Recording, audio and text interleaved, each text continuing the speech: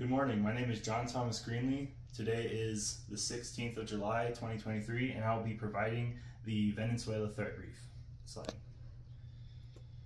So some key highlights that we're going over is the Venezuela's main intelligence organization. We're going to be going over Venezuela's intelligence capabilities, as well as the assessed threat level that Venezuela poses on United States national security. Slide. So this right here is the is the main intelligence organization for Venezuela. It is the Bolivian Bolivarian National Intelligence Service. Slide. So a little bit about that intelligence organization is one, I assess that it, it provides a considerable threat to national U.S. national security. Um, some of those reasons um, is the abuse of civilian human rights. This is done because there was many protests that we're going to be going, be going into, um, and the way that this intelligence organization treated those protesters.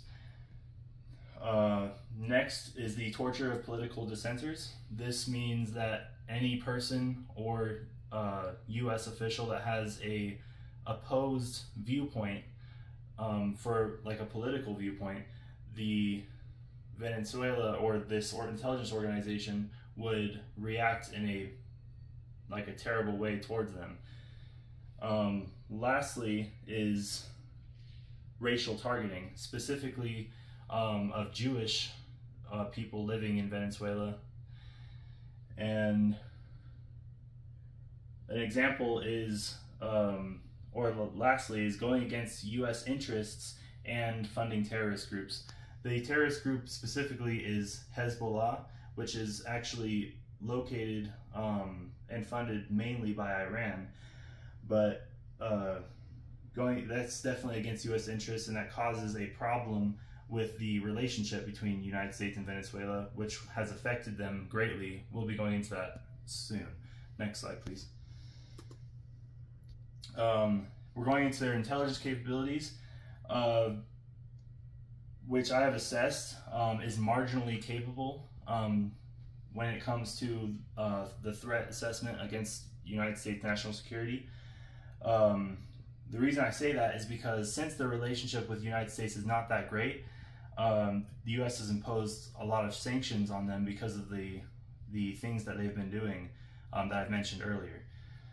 Uh, also, internally, the civilian retaliation and protesting that I've mentioned earlier uh, has been affecting them internally, causing more of an issue, like a lot of focus that they're able to pose such a threat to the United States national security, which they still have, but it's a lot less, like I said, marginally capable because of all the problems internally. Some examples is the 2018 Caracas um, drone attack.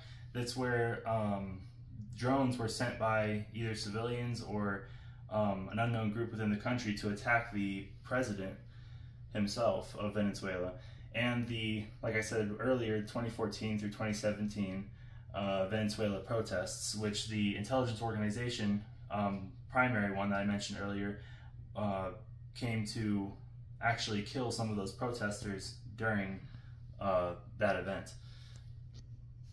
Next slide, please.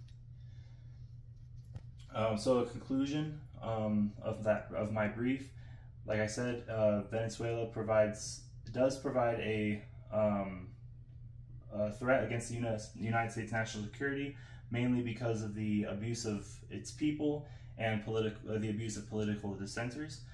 Um, Venezuela continues to be a threat because of its relations to other terrorist groups and funding them, and going against uh, U.S. interests, as well as um, its relations with U.S. adversaries like Cuba.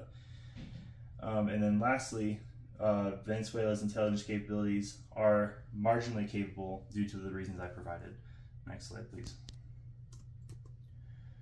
These are some references and articles if you want to read about uh, the the terrorist group uh, or the relations to terrorist groups, the how like the internal abuse of human rights, as well as the drone attack. If you want to read about those, um, here are some references and articles. Next slide. and any questions. That'll be it.